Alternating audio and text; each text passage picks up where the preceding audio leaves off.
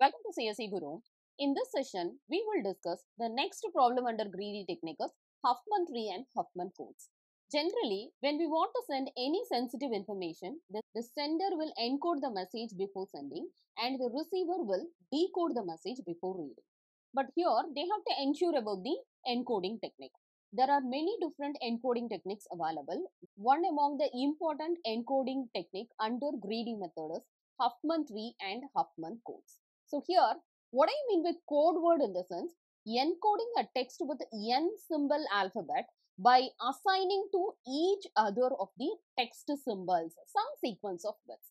Suppose if you want to send any message uh, like data in the sense, this data directly the sender won't send to the receiver. Instead of sending the data as it is, this text will be converted into some sequence of bits.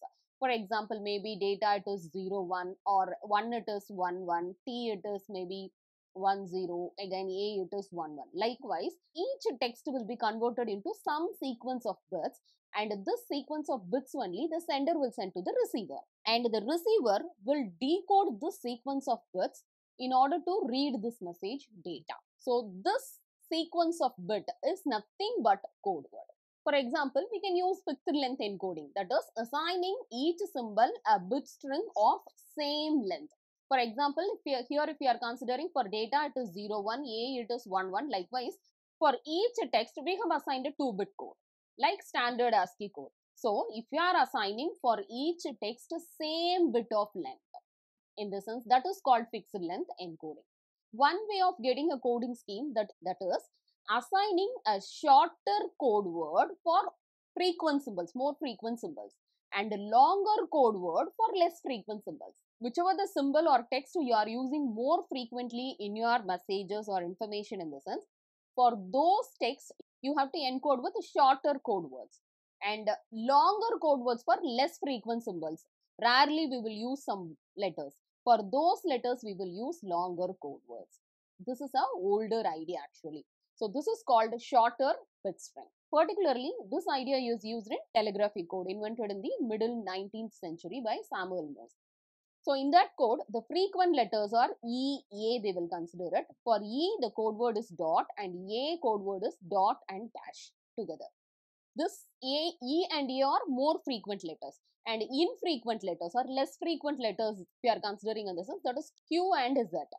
Q double dash dot dash and for Z double dash double dot for longer ones in case of using infrequent letters. And if we are considering the variable length encoding in the sense, for each text, the number of bits to encode that differs. That is assigning code words of different lengths to different symbols. That is called variable length encoding. But what is the problem in variable length encoding in the sense? It is difficult to identify how many bits are encoded in a text. For example, the data itself, if you are considering in the sense, for if I am using 1 and for A if I am using 0 and for T if I am using 1, 1 in the sense. See, here there are 5 bits. So, it is difficult to identify how many bits are encoded in a text. This problem will raise in variable length encoding. So, to avoid this complication, we have to limit ourselves to use so-called prefix-free codes. That is, no code word is a prefix of a code word of another symbol. You have to assign a unique code word for each symbol. So, no code word should be used as a prefix of code word for another symbol. That is called prefix code. So, here in this case of encoding, we can simply scan a bit string until we will get a first group of bit. That is a code word for some symbol and replace these bits by the particular symbol. Okay, and if you are repeating this process in the sense, you will get the encoded data. To create a binary prefix code for some alphabet in the sense, we can use like the symbols with the leaves of the binary tree in which all the left edges are labeled by 0 and all the right edges are labeled by 1. For example, if you are considering a tree with the left child and right child in the sense, the left edge will be labeled by 0 code word and the right edge will be labeled by 1. Okay, here also, if this is left, this is right in the sense, here left edge will be labeled by 0, right edge will be labeled by 1. In all other cases, we have to use like that only. So, this is nothing but a binary prefix code. So, here the code word of a symbol can then be obtained by recording the labels on the same path from root to the symbol's leaf. So here if you are considering this is the path if you are considering in the sense from root to the leaf if you are considering in the sense so code word will differ same code word you won't get it so this left trees and all you have to mark it as 0 right trees and all you have to mark it as 1 okay? So here in this path if you are considering for example if it is d in the sense in this path if you are considering this is 0 1 1 this is a code word for d. And this path if you are considering in the sense 0 0 for example a here in the sense code word for a is 0 0 and here it is m in the sense code word for m is 1 1 and the code word for s is 1 0 likewise here for every symbol or every text you will get a unique code word. So here this will implement prefix free codes okay? So since there is no path to leaf that continues to another leaf no code word can be a prefix of another code word okay? Such a tree will use the prefix code word so in this case if you are considering in the sense we can able to assign shorter bit strings to high frequency symbols and longer ones to low frequency symbol that is possible. And this is what we are going to implement in Huffman tree and Huffman codes. So first we will check out the Huffman algorithm. For example, consider this as a problem. So they have given letter and frequency of particular symbol. This is 0.5, B is 0.2 and C is 0.25. Okay. So this is the problem they have given. So step one, what we have to do it in the sense, initialize n one-node trees and label them with the symbols of the alphabet. So this tree you have to initialize like a n one-node tree and record the frequency of each symbol in its tree's root to indicate the tree's weight.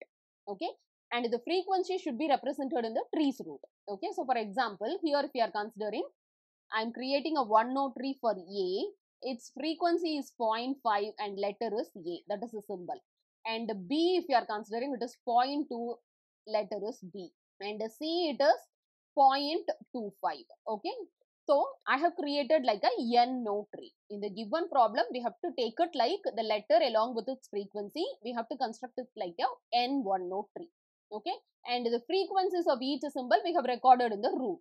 Okay? First step is arrange the node with weights in ascending order. That is in the frequency you have to consider here sorry here 0.25 and here you have to record C okay? So here arrange the nodes with weight in ascending order. So you have to arrange it in ascending order. That is B comes first ascending order 0.2 it is B okay? And C comes next it is 0.25 C and then A comes next it is 0.5 A right so now I have arranged in ascending order this is step 1 Step 2, if you are considering in the sense, repeat the following operation until a single tree is obtained. That is, find two trees with the smallest weight, make them as a left and right subtree, record the sum of the weights in the root and that will be created like a new tree. For example, this 2 will be considered as a smallest weight that is B and C. So make them as a left and right subtree. B should be the left subtree and C should be the right subtree. Both the sum should be added. That is the weight should be added and that will be represented in the root of a new tree. For example, 0.2 plus 0.25 it is 0.45 okay and B will be recorded as a left subtree that is 0.2 B and C will be recorded as a right subtree that is 0.25 C okay and then this 0.5 A will be there, right? So now this is the next step. The step 2 we have to continue till we are getting a single tree. Okay, that is repeat the following operation until you will get a single tree. Again, you have to add these two.